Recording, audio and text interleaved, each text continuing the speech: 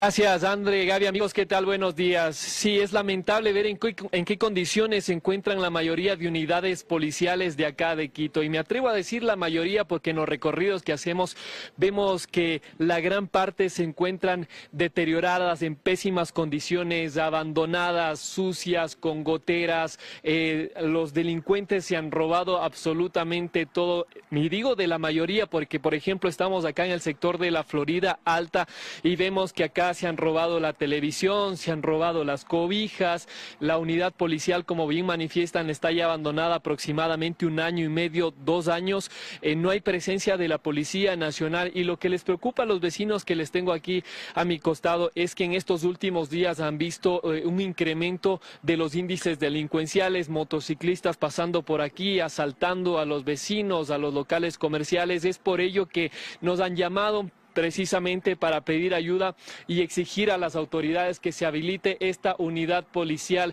móvil porque como pueden ver se, eh, se habilitó hace aproximadamente tres años y medio, sin embargo estuvieron aquí poco tiempo los uniformados policiales y abandonaron este lugar que se encuentran sin resguardo policial. Vamos a conversar rápidamente con el presidente para que nos comente un poquito qué es lo que ha venido ocurriendo. La necesidad de ustedes de habilitar esta unidad policial es urgente por los delitos que se han incrementado en estos últimos meses. Sí, eh... Ante, ayer nomás vi, se han entrado y se han sacado todas las cosas que estaban aquí. Claro, y nos preocupa porque, como usted mismo dice, ha incrementado la, un poco la delincuencia, todo. A pesar de que la policía sí da, sus rondas, no se queja, no hay que quejarse también, y si les, se les avisa también que hacen operativos, batidas, todo eso. Pero sin embargo, este camper era de gran utilidad al sector. Había motorizados, pasaban aquí, pero rato más pensados se fueron. Y claro, era de gran ayuda porque como ven es una unidad policial móvil, aquí permanecía un uniformado con su motocicleta, de, algo les ayudaba precisamente para que los delincuentes no transiten por este sector. Están pidiendo ya desde hace varios meses ustedes que se habilite esta unidad policial vecina. Así es, muy buenos días. Estamos pidiendo, como se dice, a gritos porque la delincuencia está fatal aquí. Ya han abierto puertas, han intentado también aquí, si no nos hemos unido entre los, los eh, moradores que somos de aquí para caminar en las noches asustando a los ladrones, como se dice, ¿no? Eso es, pedimos eh, de favor que se habilite esto para la seguridad y el bienestar de todos los moradores de aquí.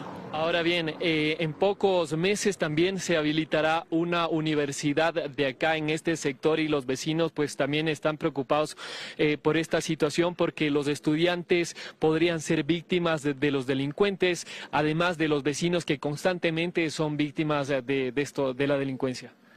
Mire, yo en primer lugar, buenos días, agradezco a Teleamazonas que ustedes son los primeros en venir a este, a este barrio. Soy del barrio Ana María, colinda con San Vicente. Aquí hemos puesto este, esta unidad de policía que, bueno, en algo nos alivia la, la delincuencia en que estamos nosotros viviendo.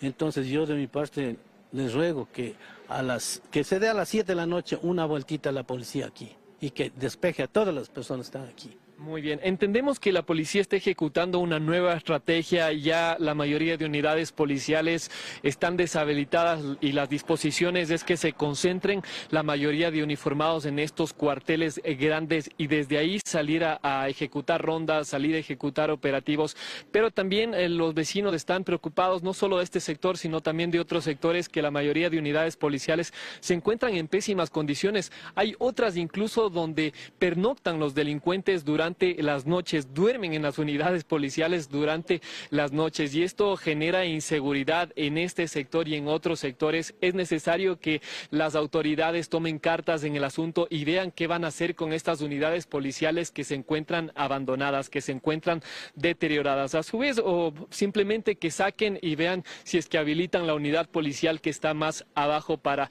eh, garantizar la seguridad de los vecinos. Con esta información regreso a estudio. Ustedes con más amigos, un buen día para todos.